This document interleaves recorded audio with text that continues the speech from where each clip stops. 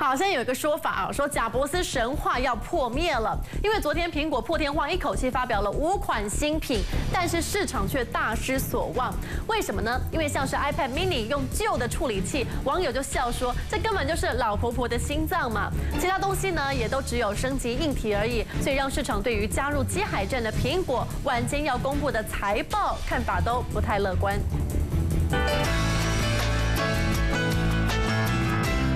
平板 NB 到桌上型电脑，苹果发表会史无前例，一口气推出五款新品，大打机海战。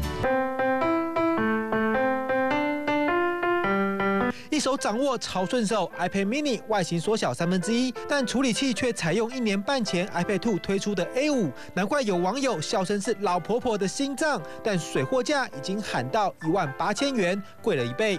Of course, the A6X is 2x faster graphics and CPU, so we'll expect some more richer. iPad 4只有处理器升级 A6X，转接头三十 pin 变成了八 pin，其他完全不变。苹果迷只能笑称它是古董法拉利。但是桌上型电脑 iMac 边框最薄，只有零点五公分，成为发表会上最闪亮的亮点。实际来到专卖店可以发现，虽然新产品还没有上架，不过现在的产品已经提前开始降价，幅度大约一到五千块。New iPad 降价一千一百元，iMac 也有三到五千块，Mac Mini 直接便宜一千五百元，提前出清冲销量。